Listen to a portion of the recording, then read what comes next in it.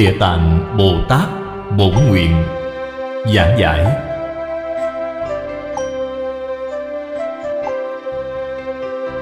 Chủ giảng, Lão Pháp Sư Tịnh Không. Giảng tại Tịnh Tông Học hội Singapore. Thời gian, tháng 5 năm 1998 Tập 12 Xin mời xem tiếp kinh văn. Văn thù sư lợi, Thời trưởng giả tử. Nhân phát nguyện ngôn, Ngã kim tận vị lai, Tế bất khả, kế kiếp.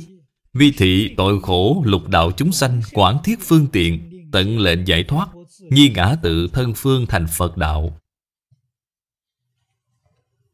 Trong đoạn kinh văn này, Chúng ta lại nhìn thấy Thích Ca Mâu Ni Phật Gọi tên của Ngài Văn Thù Sư Lợi.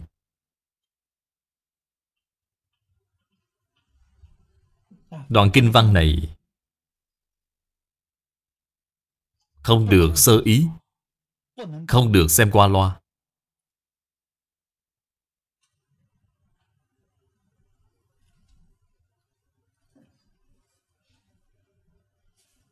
Trưởng giả đúng là làm nên tấm gương, Làm chuẩn mực. Làm nên tấm gương tốt cho chúng ta xem. Khuyên chúng ta phát tâm.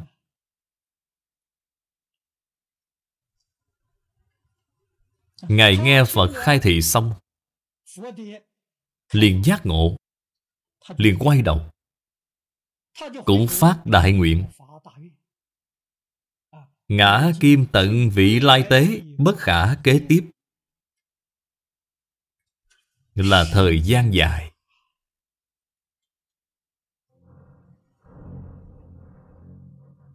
Không phải thời gian ngắn. Đến vô tận kiếp, Không thể tính ở đời vị lai. Hay nói cách khác là thời gian dài, Vô hạn, Vĩnh hằng. Vi thị, Tội khổ lục đạo chúng sanh. Hoàn toàn tiếp nhận Lời giáo huấn của Phật Đà. Vì chúng sanh khổ nạn.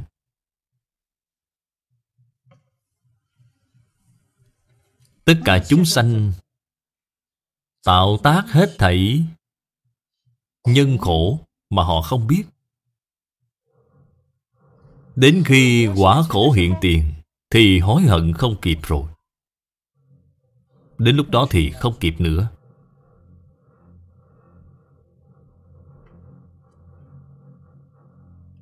Trưởng giả tử,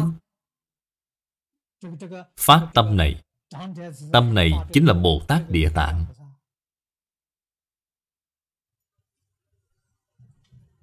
Chúng ta ngày nay đọc đến kinh văn này, Có thể phát khởi được tâm này hay không? Nếu có thể phát được tâm này. Chúng ta liền được thọ dụng chân thật Từ trên kinh địa tạng này. Bản thân chúng ta sống khổ. Phải nghĩ là thế gian này Còn có người khổ hơn chúng ta.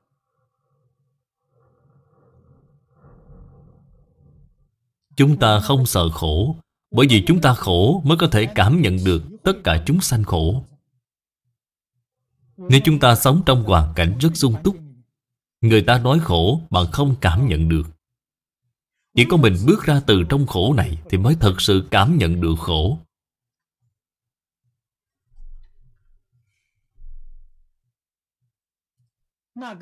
Tâm giúp đỡ chúng sanh khổ nạn của bạn Mới thật chân thành. Nếu chưa từng trải qua khổ nạn Mà bạn muốn vì chúng sanh khổ nạn này thì cái tâm đó luôn bị cách mấy lớp rồi. Không thể nào cảm nhận được. Cho nên Phật dạy các đệ tử, Một là lấy giới làm thầy, Hai là lấy khổ làm thầy.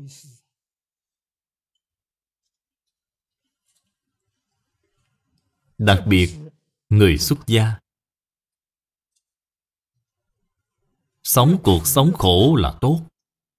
Sống cuộc sống khổ là thường xuyên cảnh giác. Khi hưởng thụ, Thì không có người nào không mê hoặc điên đảo. Cho nên nhất định phải biết, Có phước, Người xuất gia tu hành chân thật Nhất định là có phước báo. Phước báo đến rồi Không được hưởng. Vừa hưởng liền mê mờ. Phước báo đến rồi, Phải đem cho tất cả chúng sanh, Bị tội khổ trong lục đạo, Cùng hưởng. Vậy bạn chân thật mới là độ khổ.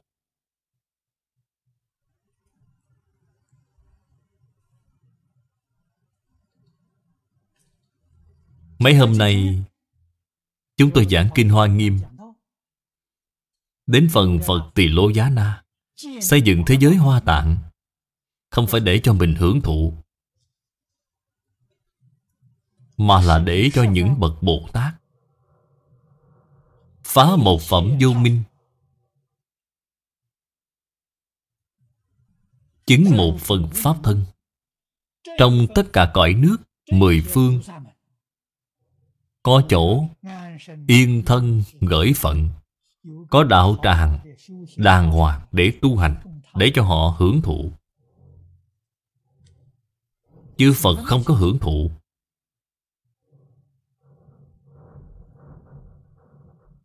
Thế giới Tây Phương cực lạc có A-di-đà Phật. Xây dựng cực lạc tịnh độ cũng không phải để cho mình hưởng thụ Mà là dành cho tất cả người niệm Phật mười phương thế giới giảng sanh về nơi đó Tu hành, hưởng thụ.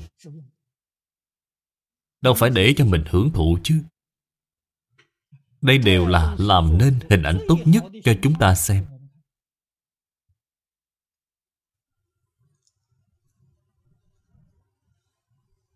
Cho nên những bậc tổ sư đại đức Có đại phước đức này,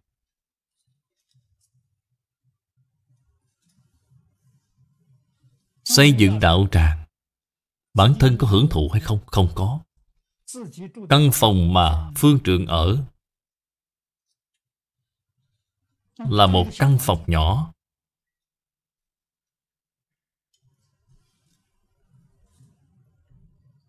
Phước báo để cho những thanh chúng Đến hưởng thụ. Tâm bình đẳng, Tâm thanh tịnh. Chỉ cần người chân thật tu hành không có chỗ nào ở. Khi đến chỗ họ thì không có chuyện không thu nhận. Không có chuyện không tiếp đãi. Cho nên gọi là thập phương thường trụ, Thập phương đạo tràng. Chứ đâu phải gì danh vọng lợi dưỡng cá nhân chứ.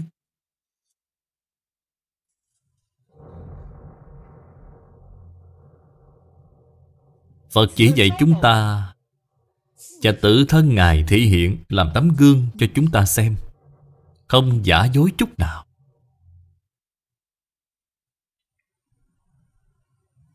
Chúng ta nhìn thấy Ngài phát tâm. Không sợ thời gian dài. Không sợ công việc. Dạy học, gian khổ. Quản thiết phương tiện, Tận lệnh giải thoát Nhi ngã tự thân phương thành Phật đạo. Đây chính là nói Chúng sanh không thành Phật Thì tôi không thành Phật. Cho nên Bồ Tát Địa Tạng, Vĩnh viễn thị hiện Ở quả vị Bồ Tát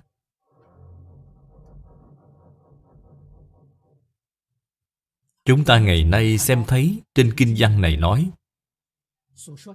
Mười phương ba đời tất cả chư Phật Như Lai Đều đến tham dự đạo tràng này. Đều là người được Bồ Tát Địa Tạng độ hóa. Đã độ, đang độ. Đã độ, đã thành tựu là chư Phật. Còn Ngài vẫn là ở quả vị Bồ Tát Học trò đều đã thành Phật Mà Lão Sư vẫn là Bồ Tát Chư Phật Đối với lão sư này không có người nào mà không mang ân đội đức. Ngày nay Thích Ca Mâu Ni Phật Muốn tuyên dương pháp môn địa tạng. Các ngài đến dự hội. Chính là báo ân. Đến làm ảnh hưởng chúng. Có pháp hội nào mà chư Phật đến tham gia?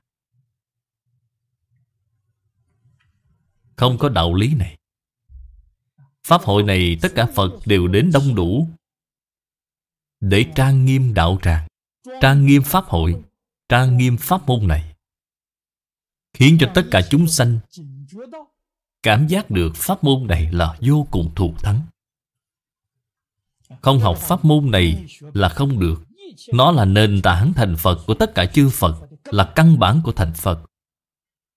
Nếu bạn từ bỏ Pháp môn này Thì bạn nhất định không thể thành tựu. Niệm Phật, Nói lời thành thật Cũng nhất định không thể giảng sanh.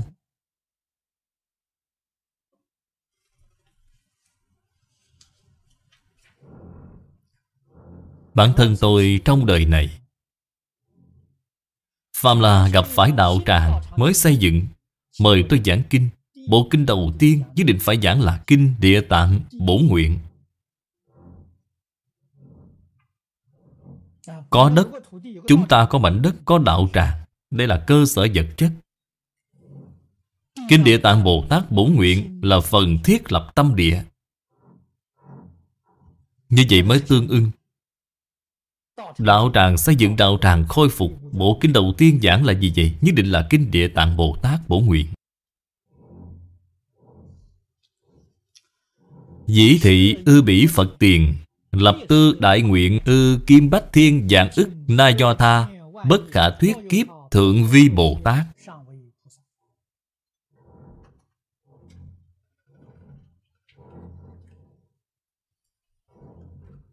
Đây là điểm chúng ta cần phải học tập.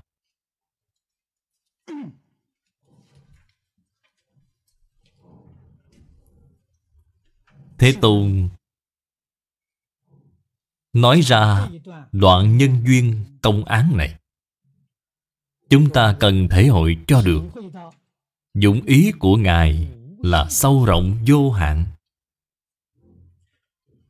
Việc dạy học của Ngài là từ bi vô tận. Chúng ta thể hội rồi, sau đó mới có thể làm, mới có thể nói đến chuyện báo ân biết ân, báo ân. Bạn đọc qua một cách qua loa chung chung. Đoạn văn này không dài. Xem qua loa cẩu thả, không có lợi ích.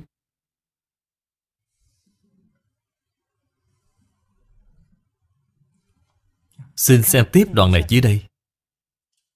Đây là công án thứ hai. Hữu ư quá khứ, Bất khả tư nghị, A tăng kỳ kiếp. Thời gian này Là sau đại trưởng giả. Đại trưởng giả là người đầu tiên, Là người trước nhất. Thời thế hữu Phật, hiểu viết giác hoa định tự tại Vương Như Lai. Bỉ Phật thọ mạng Tứ bách thiên vạn ức A tăng kỳ kiếp. Từ tuổi thọ của Phật, Có thể nhìn thấy chúng sanh thời đại đó. Phước báo rất lớn. Tuổi thọ là một trong những phước báo.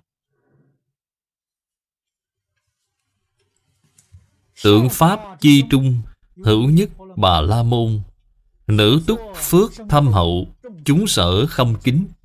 Hành trụ tọa ngọa, Chư thiên vệ hộ.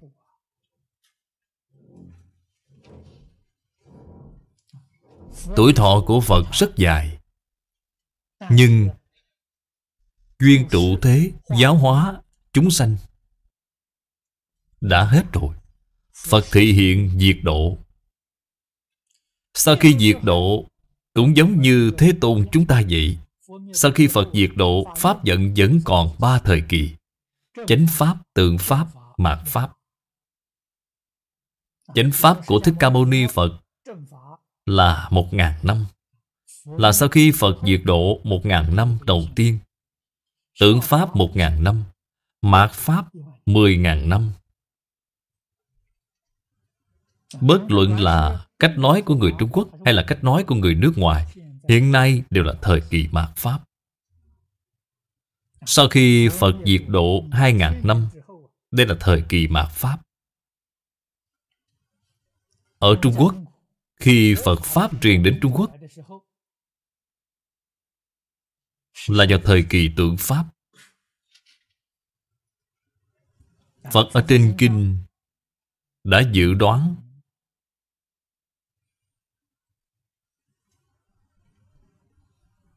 Phật nói, thời kỳ chánh pháp thì giới luật thành tựu. Dựa theo giới luật tu học Thì có thể chứng quả. Thời kỳ tưởng Pháp Thì thiền định thành tựu. Nên thiền tông của Phật giáo Trung Quốc Vô cùng hưng thịnh. Nguyên nhân gì? Do truyền đến vào thời tưởng Pháp. Rất tương ưng với lời Thế Tôn nói Là thiền định thành tựu. Thời kỳ mạt Pháp Tịnh độ thành tựu. Căn tánh của con người Đa số không bằng trước đây.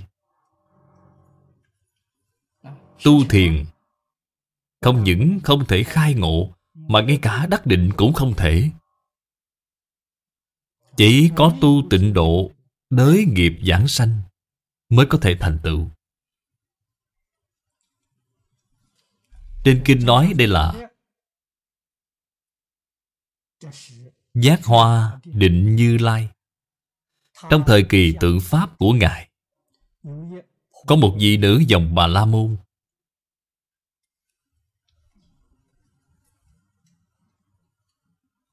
Vị nữ dòng Bà La Môn này Cũng quy y Phật Pháp.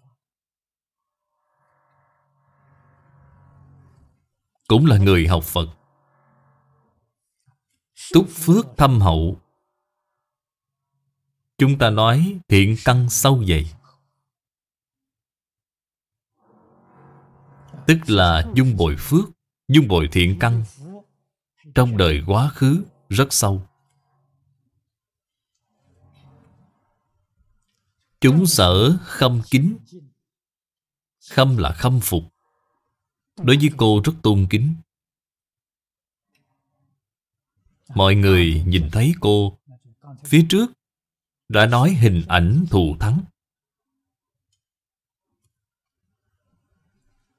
Được phần lớn đại chúng Trong xã hội. Tôn kính. Thành trụ tọa ngọa. Đây là nói bốn oai nghi. Đều đủ để làm tấm gương tốt cho đại chúng trong xã hội. Cho nên ngay cả thiên thần cũng tôn kính cô. Chư thiên vệ hộ. Người thế gian chúng ta hiện nay gọi là thiên thần phù hộ. Từng giây từng phút không xa rời cô gọi là hộ vệ.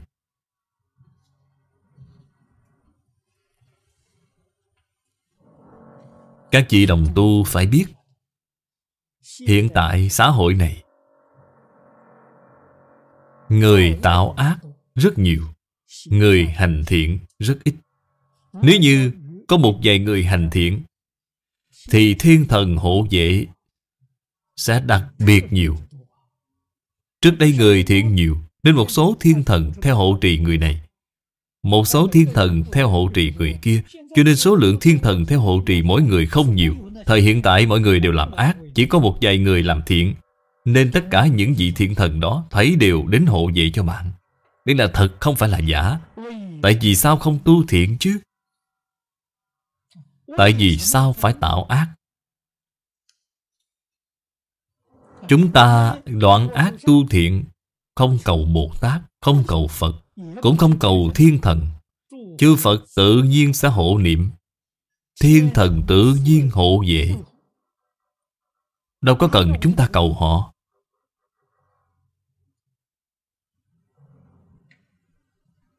Chỗ này nói, Tin Phật là quá khó. Hiện nay người thế gian học Phật Mà không tin Phật.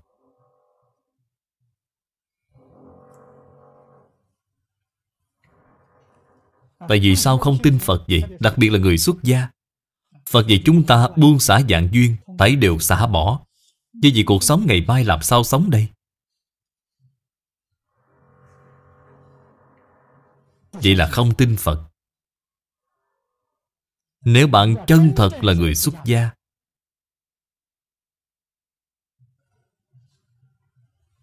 Tâm địa thanh tịnh Đối với Pháp thế gian này một mảy may Tâm phan duyên. Cầu được Thấy đều không có. Nếu bạn bị chết đói, chết rét Xin thưa với các vị Tất cả thần hộ Pháp Đều phải bị xét xử cách chức. Đây là thật chứ không phải giả. Nhưng mà mọi người không tin. Vẫn cứ muốn tự mình phan duyên. Tự mình làm. Thế thì thần hộ Pháp nhìn thấy rất vui, rất tự tại. Anh cứ tự mình làm, Tốt quá, tôi không quan tâm nữa. Họ thông dong tự tại rồi. Có một năm nọ, Tôi ở cơ long thập phương đại giác tự. Lão Hòa Thượng mời tôi giảng kinh lăng nghiêm Trong mùa an cư kiết hạ, Giảng đường sát vách tượng điện vi đà. Tôi liền nói với mọi người, Chúng ta phải tin, Không được phan duyên ở trong chùa, cố gắng tu hành, Không cần làm Phật sự, Không cần làm kinh sám, Cũng không cần làm pháp hội. Nếu bị đói chết thì Bồ Tát Vi Đà Phải bị xét xử cách chức. Làm gì có loại đạo lý này chứ? Cho nên ngay cả người xuất gia Còn không tin Phật, Thì bạn làm sao có thể dạy đại chúng thông thường tin Phật được chứ? Không có cái đạo lý này. Chúng ta thật sự tin thì không sợ vì có Phật Bồ Tát phù hộ, Thần hộ Pháp hộ vệ. Có thể Bị đói một vài bữa Cũng không sao, Tuyệt đối không bị chết đói. Bị rét một chút chứ không bị chết rét. Họ nhất định sẽ đến. Nhất định phải có niềm tin. Như vậy mới gọi là học Phật, Như vậy mới gọi là thật sự tin Phật những gì bạn cần, bạn mong cầu. Nhân duyên chính mùi nhất định sẽ đến. Những đạo lý này Là do Đại sư Chương Gia truyền dạy cho tôi. Tôi có niềm tin đối với Ngài. Ngài không lừa dối tôi. Tôi vào lúc đó đời sống vô cùng gian khổ. Muốn cúng dường lên Đại sư Chương Gia Mà một xu tôi cũng không có. Tôi không có năng lực này. Thầy biết được nên thầy không trách tôi. Thầy đối với tôi rất tốt. Vô cùng từ bi, Vô cùng quan tâm. Mỗi tuần tôi được gặp mặt thầy một lần. Tôi vào lúc đó đi làm. Có công việc đến ngày Chủ nhật, Đến viếng thăm và thỉnh giáo thầy. Mỗi tuần thầy dành cho tôi 2 giờ đồng hồ. Lúc nào có việc bận thì một giờ. Nếu như có một vài lần tôi không đến được, Thì thầy nhất định sai người Hoặc là gọi điện đến hỏi thăm tôi. Tại vì sao tôi không đến? Có phải bị bệnh không? Vô cùng quan tâm. Tâm yêu thương đó khiến cho bạn không thể không đến. Đây là lời Thầy nói với tôi. Ở trong cửa Phật, có cầu tất có ứng. Bạn cầu không được là do bạn có nghiệp chướng. Nghiệp chướng của bạn tiêu trừ rồi thì không có chuyện không cảm ứng. Nhưng mà nhất định phải đúng như lý như pháp mà cầu. Bạn dùng tham sân si để cầu, Phật Bồ Tát không thể làm cho bạn tăng trưởng tham sân si Phật Bồ Tát sẽ không giúp bạn tạo ác nghiệp. Nếu bạn là làm thiện, Là vì chúng sanh, Phật Bồ Tát sẽ cảm ứng đạo giao. Vì mình thì không được, Tuyệt đối không có cảm ứng. Nếu vì mình mà có cảm ứng Thì đó là tà ma. Ma thúc đẩy dục vọng của bạn. Ma giúp bạn làm việc xấu. Phật Bồ Tát không thể giúp bạn làm việc xấu.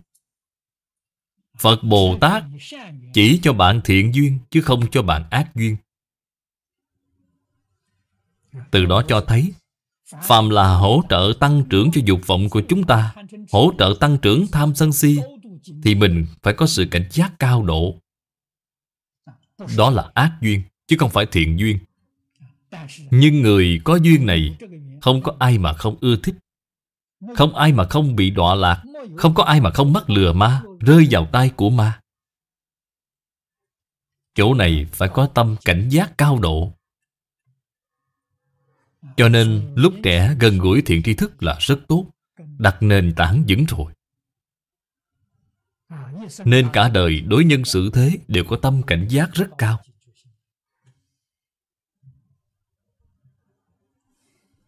Nếu chúng ta muốn được chư Phật hộ niệm, Long thiên thiện thần hộ vệ, Thì phải học ở chỗ này. Xem tiếp kinh văn dưới đây. Kỳ mẫu tính tà, Thường khinh tam bảo. Thị thời thánh nữ Quảng thiết phương tiện, Khuyến dụ kỳ mẫu, Lệnh sanh chánh kiến. Nhi thử nữ mẫu, Vị toàn sanh tính. Bất cử mệnh chung. Hồn thần đọa tại Vô gián địa ngục. Tri kiến của mẹ cô bất chánh. Tập khí phiền não rất nặng.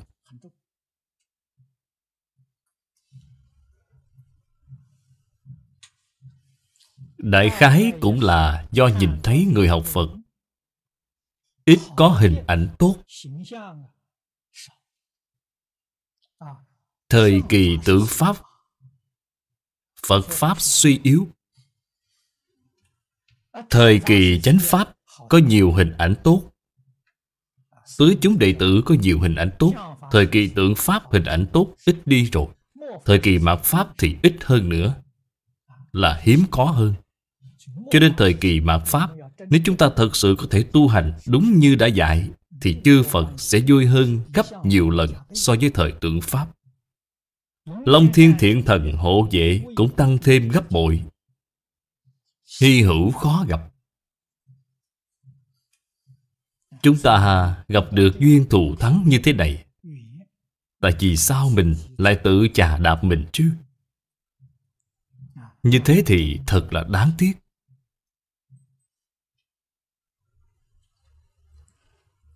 Tạo tác tội nghiệp Nhất định đọa lạc. Tại vì sao? Bà lại khinh khi ngôi tam bảo Phỉ bán tam bảo vậy? Nói thật ra Hình ảnh của người xuất gia chúng ta không tốt. Tại vì sao? Thời đại đó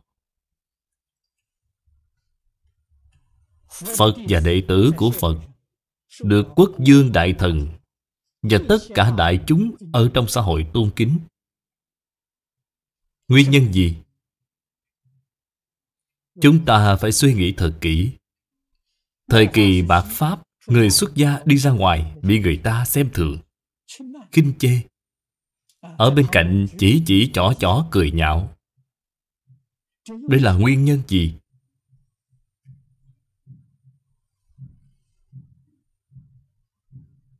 Chúng ta có nên trách người ta không? Nếu trách người ta là hoàn toàn sai rồi, Hãy quay lại tự trách chính mình.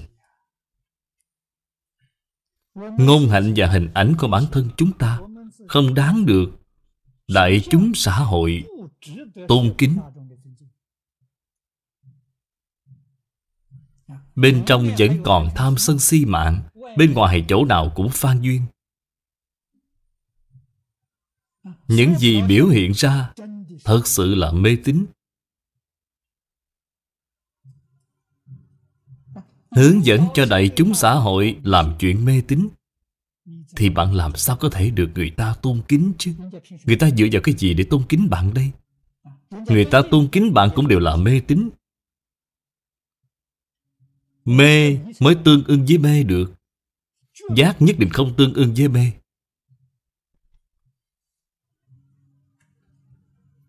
Nhưng tạo tác tội nghiệp, Bất luận là bạn cố ý hay là vô ý tạo. Quả báo nhất định là có. Không thể nói là vô ý tạo Thì không có quả báo. Không có chuyện này. Bạn hiểu pháp luật mà phạm pháp, Không hiểu pháp luật mà bạn phạm pháp Vẫn phải bị kết án, Vẫn là có tội. Không thể nói là tôi không hiểu pháp luật Nên tôi tạo tác việc phạm pháp này Thì tôi không có lỗi không có chuyện này. Việc đó là trái lý. Cho nên mẹ của nữ bà La Môn Bị đọa vào địa ngục vô gián. Thử bà la môn nữ Tri mẫu tại thế Bất tín nhân quả. Kế đương tùy nghiệp Tất sanh ác thú. Đây là Đứa con gái có hiếu của bà Cô có học Phật, Hiểu rõ đạo lý. Biết mẹ của mình Lúc còn sanh tiền Không tin nhân quả báo ứng. Chữ kế là trong tâm suy nghĩ. Trong tâm đang Suy đoán. Suy nghĩ nghiệp mà cả đời mẹ mình tạo. Không biết tương lai, Quả báo ở nơi đâu? Nghiệp thiện nhất định có quả thiện, Nghiệp ác nhất định có ác báo. Cô suy nghĩ thấy nghiệp mẹ mình tạo tác nặng nề. Phỉ bán tam bảo, Nghiệp này rất nặng.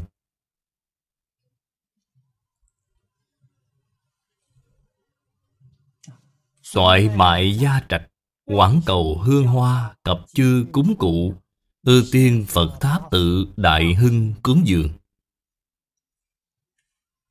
Đây là cô tu phước cho mẹ.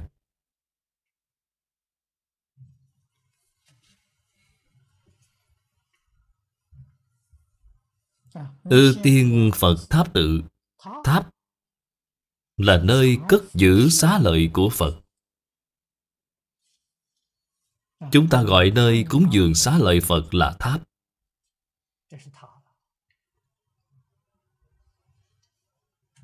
Tự là nơi giáo hóa chúng sanh. Ý chính của tự, Ý nghĩa của tự. Trong khoa chú Chú giải rất rõ ràng. Giải thích ý nghĩa của chữ tự này như thế nào vậy? Tự có nghĩa là tiếp nối, kế thừa. Người bình thường chúng ta gọi là hậu duệ. Tiếp nối. Sự nghiệp này phải vĩnh viễn tiếp nối mãi. Đây gọi là tự. Nơi này là nơi tiếp nối huệ mạng Phật. Nên gọi đó là tự. Người hiện nay đều không hiểu ý nghĩa này. Nhìn thấy tự, Nghĩ tự là miếu bên trong thờ quỷ thần. Làm chuyện mê tín, Họ không hiểu ý chính của chữ này. Trước đây, cơ quan làm việc, Dưới quyền nhà vua đều gọi là tự. Là muốn cơ nghiệp đế dương của họ Truyền xuống vĩnh viễn tiếp tục không dứt.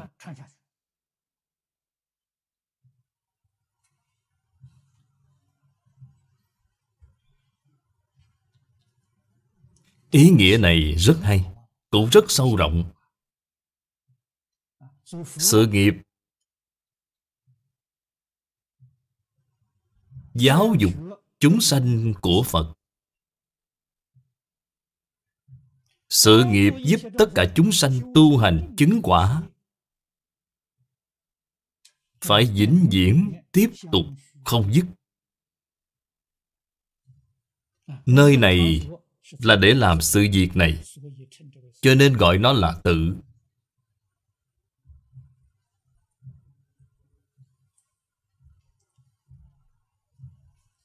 Cúng Phật Nên nhớ kỹ phải dùng tài vật của mình. Nếu dùng tài vật của người khác để tu phước là sai rồi, mình sẽ không được một chút nào. Nhất định phải dùng tài vật của mình, không được dùng của người khác. Cô không có tài lực, nên đem nhà cửa của mình bán đi. Có được số tiền này liền sắm nhiều hương hoa và những đồ lễ cúng rồi vào trong tháp phật để tu cúng dường Loại cúng dường này là hình thức. Loại cúng dường hình thức này chúng ta hiện nay nhìn thấy rất nhiều. Rất nhiều người đều biết. Cúng dường hình thức có hiệu quả hay không chị? Phải xem dụng ý của họ. Trong và ngoài có tương ưng hay không? Trong ngoài tương ưng thì có công đức. Trong ngoài không tương ưng thì không có công đức. Vẫn có một số người cúng dường nhưng lại tạo tội nghiệp. Không những không có phước mà còn tạo tội. Những loại cúng dường nào vậy? Đến trước Phật Bồ Tát tu cúng dường thật lớn để cầu phát tài. Cầu thăng quan. Cầu nguyện trước Phật Bồ Tát. Nếu con được thăng quan, được phát tài, con sẽ đến trả lễ, sẽ trở lại cúng dường lớn cho Ngài. Ra điều kiện với Phật Bồ Tát là hối lộ. Xem Phật Bồ Tát giống như tham quan ô lại vậy. Loại cúng dường này không những không có phước, Mà còn tạo vô lượng vô biên tội nghiệp. Ngài phù hộ cho con phát tài, Con phát được một triệu, Con nhất định sẽ đem mười ngàn đến cúng dường cho Ngài. Phật Bồ Tát đâu có khờ như vậy chứ, Để cho bạn được lợi đến 99 dạng. Làm gì có đạo lý này chứ? Bạn xem Phật Bồ Tát là hạng người nào? Cho nên cúng dường như vậy là tạo ra vô lượng vô biên tội nghiệp. Đây là đọa tam độ. Đừng nhìn thấy người ta đến tu cúng dường liền cho đó là việc tốt. Chưa chắc là việc tốt. Bạn phải thăm dò xem động cơ của họ là gì. Bạn mới biết họ là tạo phước hay là tạo họa.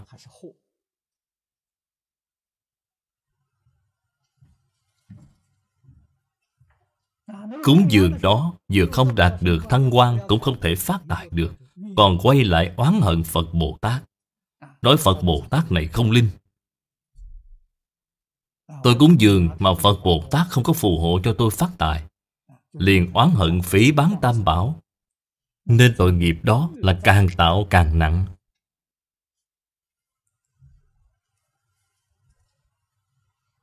Chúng ta xem kinh văn dưới đây Kiến giác hoa định tự tại phương Như Lai, Kỳ hình tượng tại nhất tự trung, Tố họa uy dung, đoan nghiêm tất bị. Đây là nói, Cô Bà La Môn Đến chùa miếu để cúng dường cúng Phật. Phật không còn tại thế. Đây là thời kỳ tượng Pháp, Nên trong tự diện này chỉ có hình tượng Phật. Tượng Phật được đắp hoặc đúc. Cúng dường ở trước tượng Phật Tượng Phật tạo rất trang nghiêm. Thời ba la môn nữ Chiêm lễ tôn dung bội xanh kính ngưỡng. Đây là chân thành. Những đồ lễ cúng này là bên ngoài. Bên trong là tâm chân thành. Hiển thị cho thấy trong ngoài nhất như Cúng dường một chút vật phẩm, Giống như chúng ta gặp một người nào đó, Bất luận là người lạ hay người quen. Rất lâu rồi không có gặp nhau, Khi gặp nhau lúc nào cũng có chút quà. Quà không phải ở chỗ nhiều hay ít, Mà là để biểu thị cho lòng tôn kính. Biểu thị chúng ta đối với người này không quên. Thường hay nhớ ở trong tâm, Biểu thị một chút lòng tôn kính. Cúng Phật. Hơn nữa là Tu phước cho mẹ. Cho nên tâm này càng chân thành, khẩn thiết hơn nữa. Lòng trí thành thì có thể cảm. Nên Phật liền có ứng. Liền sanh ra cảm ứng đạo giao. Tư tự niệm ngôn Phật danh đại giác. Cụ nhất thiết trí. Nhược tại thế thời Ngã mẫu tử hậu, Thản lai vấn Phật, Tất tri xứ sở. Đây là hận mình phước báo, Không đủ. Không có sanh vào lúc Phật còn tại thế. Mà sanh vào thời tượng Pháp của Phật Phật không còn tại thế. Nếu như Phật còn tại thế, Thì Ngài có đại trí huệ, Có đại thần thông. Nếu mình đến thỉnh giáo Phật sau khi mẹ con mất rồi sanh vào cõi nào, Phật nhất định sẽ nói cho mình biết. Đáng tiếc, Phật không còn tại thế. Trong tâm cô có thầm nghĩ như vậy. Không nhất định là nói ra. Trong tâm có cái ý niệm này. Cho thấy lòng hiếu thảo của cô. Muốn giúp cho mẹ mình thoát khỏi khổ nạn. Thời ba la môn nữ Thùy khắp lương cửu, Chim luyến như lai.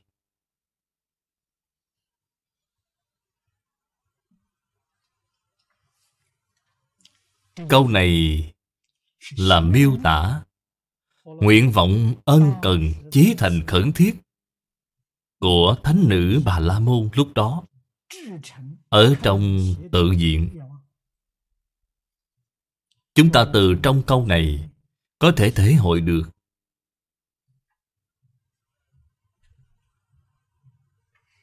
sự kỳ vọng chân thành biết bao, tha thiết biết bao.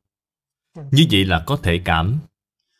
Hốt văn không trung thanh viết, Khắp giả, Thánh nữ vật, Chí bi ai, Ngã kim thị nhữ, Mẫu di khứ xứ. Chế thành sẽ linh. Cảm động Phật. Đến chỉ dẫn cho cô.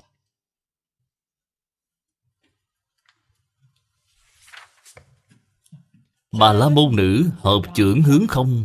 Nhi bạch không viết. Thị hà thần đức khoan ngã ưu lự, Ngã tự thất mẫu dĩ lai. Trú dạ ức luyến vô xứ khả dấn Tri mẫu sanh giới. Chữ giới tức là thế giới nào? Ở thế giới nào trong thập pháp giới? Ở đường nào trong lục đạo? Cô nhận được sự cảm ứng này, Vô cùng cảm kích. Cô không biết âm thanh này từ đâu đến, Cũng không biết là do ai nói.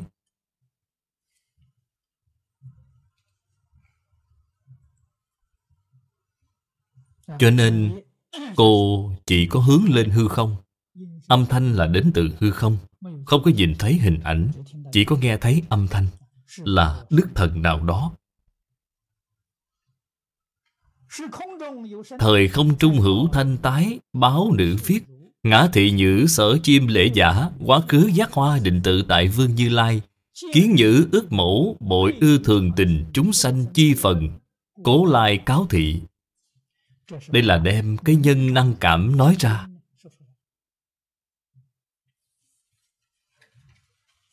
Đây là đích thực là người con hiếu thảo.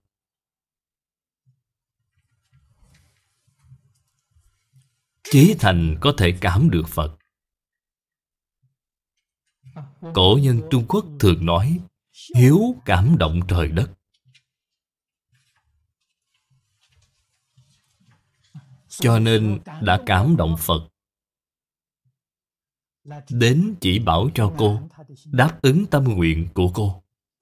Bà la môn nữ Văn thử thanh dĩ, Cử thân tự phát chi tiết giai tổn, Tả hữu phù trì lương cửu phương tô, Nhi bạch không viết. Nguyện Phật từ mẫn tóc thuyết ngã mẫu sanh giới, Ngã kim thân tâm tương tự bất cửu. Đây là biết âm thanh này, Là âm thanh của Phật. Nên cảm động Lễ bái năm chốc sát đất. Cách lễ bái này Là toàn thân tiếp lễ. Cho nên sau khi bái xuống, Thì tay chân mịt mẩy Đều bị tổn thương. Đây là bái rất dũng mãnh. Người bình thường thế gian chúng ta nói là cúi đập đầu thành tiếng. Đây là thể hiện cảm động quá sâu. Khi bái lễ ngã xuống đất, bất tỉnh, Rất lâu mới tỉnh trở lại. Khi tỉnh dậy, dội vàng, cầu xin Phật, nói cho biết nơi mà mẹ của cô thác sanh. Cô đau buồn đến cực điểm. Tương tự bất cửu, Đây là đau buồn đến cực điểm. Thời giác hoa định tự tại Vương Như Lai, Cáo thánh nữ viết Nhữ cúng dường tất Đảng tảo phản xá, Loan tọa tư duy Ngô chi danh hiệu. Tức đương tri mẫu sở sanh chi xứ.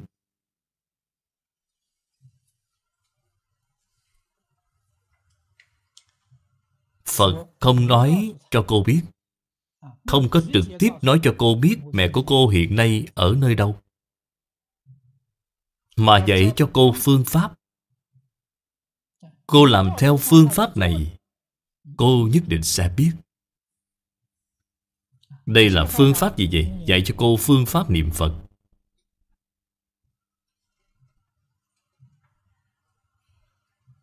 Sau khi ngươi cúng dường xong, Hãy mau mau trở về nhà.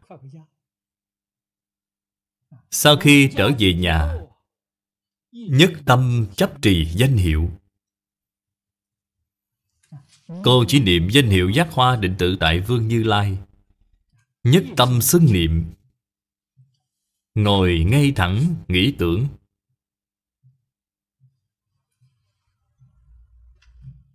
Bồ Tát Đại Thế Chí dạy chúng ta, Nhớ Phật niệm Phật, Hiện tiền tương lai nhất định, thấy Phật. Tư duy tức là nhớ nghĩ. Không có nói niệm ngoài cửa miệng. Ý nghĩa của dùng tư duy này là rất sâu. Chúng ta thông thường niệm Phật Là miệng niệm mà tâm không niệm. Đúng như chúng ta thường nói, Gào rác cổ họng cũng chỉ uổng công. Niệm Phật quan trọng nhất là trong tâm có Phật, Tư duy mới là thật sự niệm Phật. Trong tâm họ thật sự có Phật. Thời Ba La Môn Nữ Tầm lễ Phật dĩ. Tức quy kỳ xá. Nghe Phật nói hãy mau mau trở về nhà. Sau khi thực hiện xong nghi thức cúng dường này, Cô dội trở về nhà. Dĩ ước mẫu, Cố đoan tọa niệm giác hoa định tự tại chương Như Lai, Kinh nhất nhật, nhất dạ. Cô trở về, y giáo phục hành. Chân thật mà niệm, Dùng tâm chân thành, nhất tâm. Mà trì danh. Hiệu quả hiện tiền ngay. Kinh nhất nhật, nhất dạ Thời gian không dài. Hốt kiến tự thân, Đáo hải biên kỳ thủy dũng phất. Đa chư ác thú, Tận phúc thiết thân phi tẩu hải thượng, Đông Tây trì tục. Kiến chư nam tử nữ nhân Bách thiên vạn số, Xuất một hải trung, Bị chư ác thú tranh thủ thực đạm Đây là cảnh giới ở trong định thấy Các vị phải biết, Tại vì sao Phật dạy cô làm như vậy? Tại vì sao không trực tiếp nói cho cô biết? Mẹ của cô ở địa ngục. Thưa với các vị, Nói với cô như vậy sẽ không có tác dụng gì. Không thể cứu được mẹ cô. Làm thế nào mới cứu được mẹ của cô vậy? Tự mình nhất định phải tu công đức. Cô mới có thể khiến cho mẹ cô được độ. Suốt một ngày, một đêm, Cô là chuyên tâm. Tâm địa chí thành. Một ngày một đêm được nhất tâm bất loạn. Trong hết thảy các pháp môn tu hành, Thì pháp môn này là nhanh nhất. Tu pháp môn khác muốn đạt được công phu này là rất khó. Pháp môn niệm Phật dễ dàng. Một ngày một đêm, Trong Kinh Di Đà nói, Nếu một ngày hoặc hai ngày cho đến bảy ngày, Cô niệm một ngày một đêm là được nhất tâm bất loạn. Được nhất tâm bất loạn là chứng niệm Phật tam muội. Các vị nên biết, niệm Phật tam muội có sâu cạn khác nhau. Niệm Phật tam muội, cấp hạ phẩm là công phu thành khối. Trung phẩm là sự nhất tâm bất loạn, Thượng phẩm là lý nhất tâm bất loạn. Cô đây là được sự nhất tâm bất loạn. Sự nhất tâm bất loạn Thì bản thân cô đã thành Bồ Tát rồi. Mẹ cô đương nhiên sẽ được độ. Tại vì sao cô công phu một ngày Là có thể chứng được nhất tâm bất loạn gì? Nhờ duyên của mẹ cô. Nếu mẹ cô không đọa vào đường ác, Thì cô sẽ không tinh tấn như vậy được rồi. Nên mẹ cô liền có phước ngay. Nhờ mẹ cô giúp khiến cô dụng công như vậy, Bỗng chốc chứng được quả vị Bồ Tát. Mẹ cô sanh thiên là căn cứ vào đạo lý này. Nếu Phật không dạy cho cô cách này, Mà nói cho cô biết mẹ cô ở đâu, Thì dù có khóc chết đi nữa cũng vô ích. Phật không thể độ mẹ cô được rồi. Nếu Phật có thể độ được, Thì việc gì phải bảo cho chúng ta tu hành? Là không cần tu rồi, Thấy đều được độ hết. Như thế Phật là đại từ đại bi. Phật không thể độ. Cô độ mẹ của mình là do nhờ cái duyên này của mẹ cô, Nên cô mới chăm chỉ tu hành. Trong vòng một ngày mới có thể niệm đến sự nhất tâm bất loạn. Tại vì sao chân thành như vậy? Tại vì sao tinh tấn như vậy? Là bởi vì Tâm tha thiết độ mẹ. Nhờ sức mạnh này thúc đẩy cô, Đạo lý là ở chỗ này. Sau đó bạn mới biết cửa Phật nói siêu độ, Nguyên lý của nó là ở chỗ này.